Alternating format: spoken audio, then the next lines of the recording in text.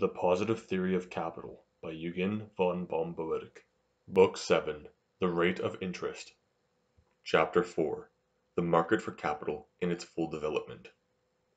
Up till this point we have assumed that the annual product of each worker and also the annual wage is the same in all branches of employment. Of course in actual life this is not the case, but that does not in the least disturb the normal connections and relations we have laid down. Otherwise than by acting as if there were a somewhat different number of unskilled laborers with ordinary wages and ordinary productivity. For even if the absolute amount of the return to labor on the one hand and that of the wage of labor on the other be ever so various in the various branches of employment, still the ratio between these two amounts will, in virtue of the familiar law of equalization of profits remain the same all over and this is the essential matter in the question of interest. If, for instance, in one branch of production the wage of unskilled labor be £50, and the product of a year's labor £65 in another branch, carried on mostly by skilled labor, the worker's annual product may perhaps be double, say £130.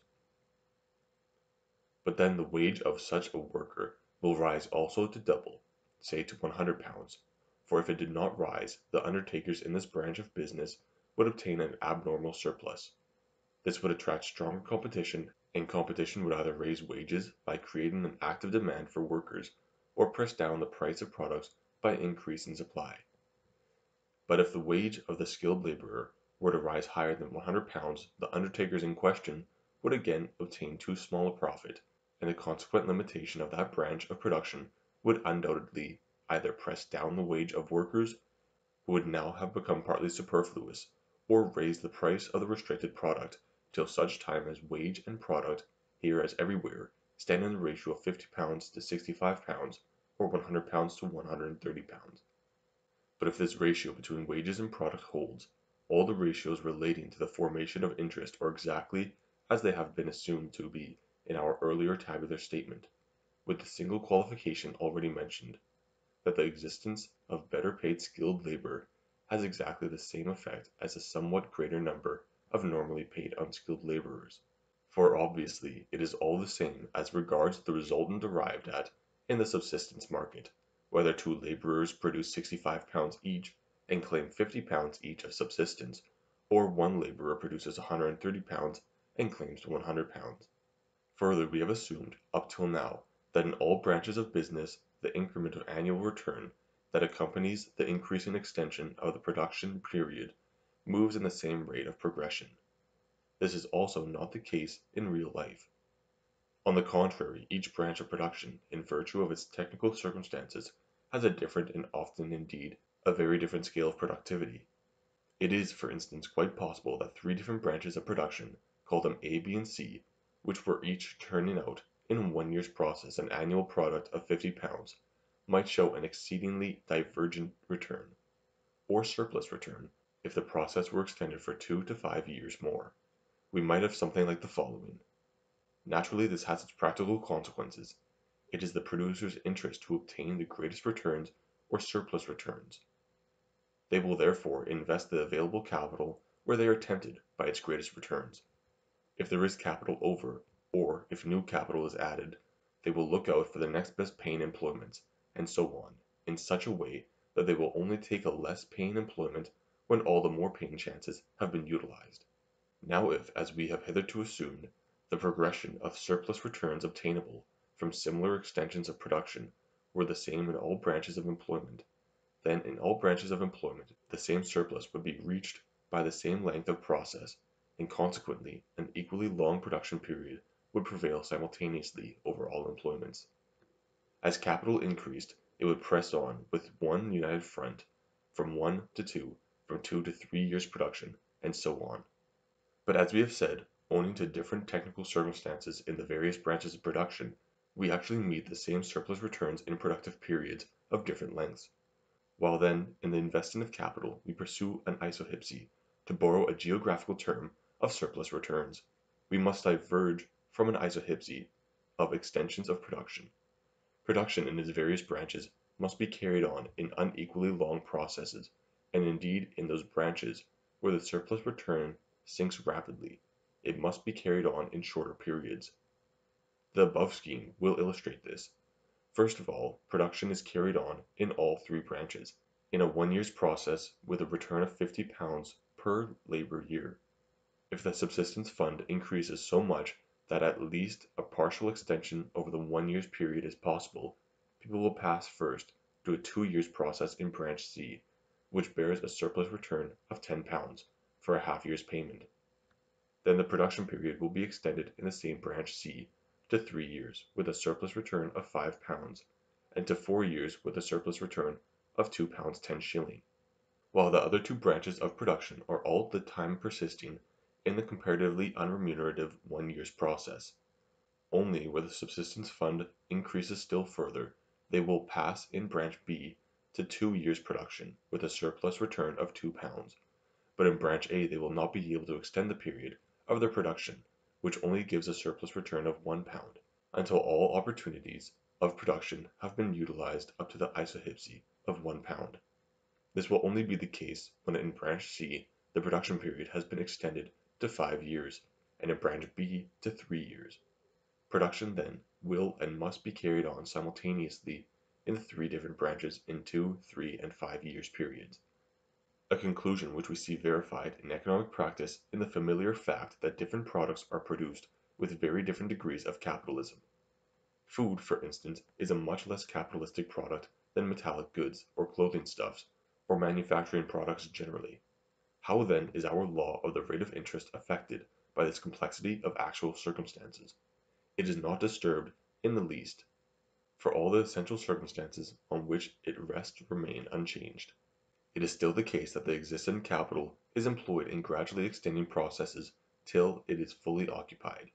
It is still the case that there is a certain level of these extensions yielding a certain surplus return, which is the last economically permissible and a succeeding level yielding a somewhat less surplus return, which is economically not permissible; and finally it is still the case that the surplus returns of these marginal employments also form the marginal limits of the interest rate. The single difference, and that is not an essential one, is that the isohypsy of the surplus returns, and with it the product of the last permissible extensions of production, is not a straight line, but runs in an undulatory or zigzag fashion through the different branches of production according as the same surplus return is reached by them in no longer or shorter processes. But this modification gives our law a still sharper power of definition, for as in consequence of the complexity of actual life the scale of productivity is much more finely graduated than was our simple typical scheme, the two marginal limits as a rule stand much nearer each other and consequently narrow the zone within which price is determined very much more closely than is shown in our abstract illustration. To proceed hitherto, we have assumed that the demand for present goods comes simply from the wage earners, either directly or through the mediation of undertakers, but this again in actual life is not correct. There are a few other competitors in the market. There are, first, the suitors for consumption credit; their demand is graduated and stratified according to their urgency of their need for present goods. One class will be in such pressing need that in the worst case it will be glad to offer an agio of 100 per cent, another class will only go to the length of 80 per cent, a third will offer 60 per cent, others 50 per cent, and so on down the scale, perhaps to 2 per cent. Now these suitors join their claims to the demand which comes from the wage earners and each class or layer of them is satisfied concurrently with the layer of productive employments yielding a surplus return that represents the same percentage. If, for instance, the investing of capital reaches the isohypsy of a surplus of £4 on £21, all those suitors for loans will be satisfied simultaneously, who in the worst circumstances are able to offer 19.048 per cent. or more. If it reaches the isohypsy of the surplus of £2 10 shilling on £25, all suitors will be served who are willing to offer at least 10 per cent and so on. It would be quite erroneous to understand this as meaning that the rate of loan interest is determined simply by the rate of interest obtained in production. It contributes just as much to determine the latter as it is determined by it. Both classes of demand work in entire coordination. the fact that here is a certain class of suitors for consumption loans, and that this class takes a portion of the existent means of subsistence out of the market, involves that there are fewer means at the disposal of productive investors. Investment must call a halt at the high isohypsy of surplus returns, and this again involves a higher rate of interest in the sphere of production. Conversely the presence of the productive demand results in a considerable portion of the means of subsistence being claimed for productive purposes, and this again has the result that the wants of consumption credit are not satisfied at such low levels as would otherwise have been the case. In the present day, of course, the productive demand is so much the more important of the two that the one is apt to suppose that it alone rules the rate of interest, but this false impression is now and then sensibly corrected by experience when some great state loan for consumption purposes, say for a war, makes the general interest rate fly up. But even when the demand for consumption credit is quite insignificant, it does not fail to exert some influence on the rate. It may always be contended, if it were to disappear, the interest rate would be at least a fraction lower than it is now. Another competitor in the market for capital is the land owner. If owners work their own lands, and are content to maintain themselves by the fruits of their labor, whereby they lay past their rent as saving, they are no burden on the subsistence fund of the community. If, however, they live wholly or partially on their rents, their subsistence also must be advanced out of their community's fund, for a length of time proportional to the production periods in which their land is laid down. Suppose, for instance, that the wealthy cotton planter lives in idleness on his rents, and that the total production process of textiles, including the various stages of spinning, weaving, etc., down to the manufacture of the finished cotton stuffs, takes five years, the maintenance of the planter, just as much as that of his field worker, must be advanced out of the subsistence fund over five years. The advance will then, of course, be refunded out of that quota of product which, according to the law of complementary goods, is due to the cooperation of the uses of land, but in the meantime the landowner lives at the expense of the subsistence fund. What kind of effect has this on the rate of interest? Its effect is entirely similar to that of consumption credit. The competition of landowners takes a certain amount of subsistence out of the market. It thus curtails the investment of capital in production and makes it call a halt at a higher isohypsy of surplus returns, and this finally keeps up the rate of interest. In doing so, however, the claim of the landowner on subsistence comes under a reflex influence from the height of the interest rate. This, of course, has no reference to the height of the annual rents, for this is fixed by those circumstances which influence the economic value of uses of land, and need not be mentioned here, but to the number of annual rents for which advances of subsistence are demanded; that is to say, if interest is high, lengthy periods of production are not profitable. The uses of land will be invested in comparatively short processes, and as consequence the advances made to landowners will only be for a short period. If whenever the interest rate is low, then concurrently with the increase in production and consumption credit increases the subsistence advanced to the landowners, it now extends over greater number of annual rents according as the uses of their land can now be invested in much longer processes. There is one other competing party in the market, the capitalists themselves, so far as they live entirely or partially on their interest, their maintenance also will be defrayed from the subsistence fund, and in so far as the fund available for other purposes is thereby contracted, will the interest rate tend to rise. There is, however, one important difference between the claims of the capitalist on subsistence and those of the wage earners, the suitors for loans, and the landowners. The claims of the latter are the cause of the agio on present goods; the claims on the former are simply its effect. If the claims on subsistence presented by the wage earners, borrowers, and landowners did not by themselves alone exceed the existent subsistence fund, there would be no agio on present goods, and as consequence the capitalists as such could make no valid claim for subsistence on the funds of the community. In default of an income from interest, they would have to support themselves by work. It is only because there is an agio, as effect of the other classes of demand, that the capitalist can claim a quota of the product as interest and claim it indeed in advance. Reflexly, of course, this claim of the capitalist influences the rate of interest. It is exactly as, for instance, in electrical induction.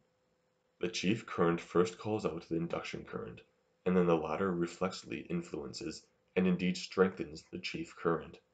Just in the same way does the demand for other competing parties in the market by Creedon and Agio first call out the claims of the capitalists on subsistence, but so soon as the Agio is a fact it diverts a portion of the subsistence fund into the income of the capitalists. It thus contracts the disposable remainder, determines the saturation point in the remaining branches at a higher marginal utility, and so in the last resort causes a rise of the agio. Suppose we try now to unite the scattered features into one picture. In his collective stock of wealth every people possesses a greater or less fund of subsistence. This is consumed definitely by uneconomic persons who waste their parent wealth, and by suitors for consumption credit it is consumed as an advance by landowners, capitalists and wage earners during the social period of production. The greater the subsistence fund, the longer can the social period of production be extended, and the more completely can the demands for consumption credit be satisfied. The return of the last extensions of production still possible, and concurrently the valuation of the last suitors who obtain loans determine the height of the agio on present goods. Consequently, on the basis of our completed inquiries, the following factors emerge as the most important concrete circumstances or determinants which influence the rate of interest. First come the same three factors which from our inquiry into the circumstances of the labor market in its most abstract form we are forced to recognize as decisive: 1. The amount of national subsistence fund. 2. The number of producers to be provided for out of the same. 3. The position of the scale of surplus returns connected with the increasing extensions of process. After these come 4. The extent of the intensity of the desire for consumption loans. 5. The existence and the height of land rent. The higher that rent is, the more persons there are who can live on their rent without working, and the higher will be the standard of living by which they regulate their maintenance. Naturally, if the amount of subsistence which they take as advances out of the social subsistence fund goes parallel with that standard of comfort, there will be less for other purposes, and interest will remain at a higher level. The existence of land rent, therefore, tends to enhance the rate of interest. 6. The existence of a numerous capitalist class living on their own interest for reasons which apply equally to landowners and capitalists and 7. Finally, the economical habits of the population have a great influence directly and indirectly, indirectly inasmuch as national thrift gathers together a greater stock of wealth, directly inasmuch as thrifty living diminishes the claims on subsistence, whereby if subsistence remains constant the population is maintained for a longer period, and the investment of capital is extended till there is a lower isohypsy of surplus returns. If a nation is thrifty, neither landowners nor capitalists will consume all their rents; they will either work as undertakers and live simply by their own labor, or at least they will save a portion of their income. The portion saved represents, as it were, a certain amount of the subsistence fund allotted, but not taken up, and the amount is left free for another employment, particularly for a further extension of the production period. The same is true of savings, which the laborers or such persons as are in possession of a secondary income are able to make. If we pursue this line of thought a little further we shall repair an omission in our former analysis. Hitherto we have considered subsistence fund and subsistence claims as something actually existing and present; we must now consider them in the act of becoming. Hitherto we have looked at the subsistence fund as standing over against and disputing the claims which the open market made on it. We have still to consider the noiseless but never ceasing war waged on wealth in each individual economy by the desire of enjoyment. What follows will form both continuation and conclusion of another line of thought on the subject of formation of capital.